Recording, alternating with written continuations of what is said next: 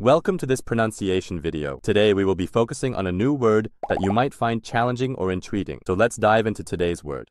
말인즉슨, which means, In other words, in Korean, let's say it all together. 말인즉슨, 말인즉슨, 말인즉슨. One more time. 말인즉슨, 말인즉슨, 말인즉슨.